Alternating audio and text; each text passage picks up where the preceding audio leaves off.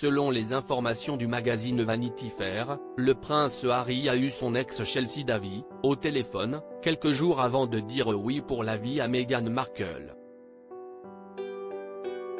Chelsea Davy et le prince Harry ont vécu une longue histoire d'amour tumultueuse entre 2003 et 2011. Le frère du prince William a dit oui pour la vie à Meghan Markle le samedi 19 mai dernier, et cela semble avoir été difficile à vivre pour la jeune femme qui était présente aux festivités. Selon le magazine Vanity Fair, les deux ex se sont appelés quelques jours avant le mariage. Un proche de la famille royale confie, c'était l'appel final, un dernier appel au cours duquel ils ont tous deux admis qu'Harry passait à autre chose. Chelsea était assez bouleversée, elle était en pleurs et a failli ne pas venir au mariage. Au final, elle est venue et a promis à Harry qu'elle n'essaierait pas de s'imposer à la fête. Celle qui est aujourd'hui avocate a respecté ses engagements et tout s'est bien déroulé.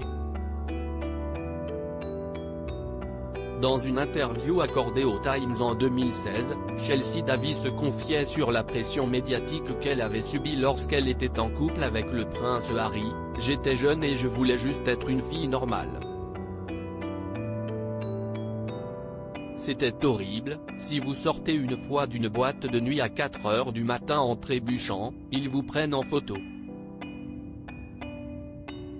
Par contre, ils ne vont pas vous photographier quand vous partez travailler tous les matins.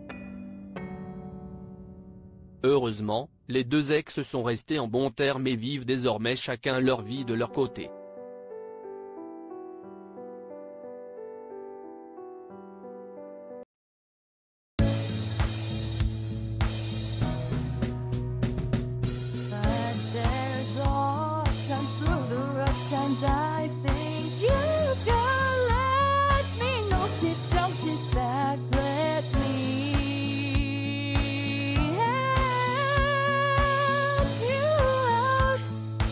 step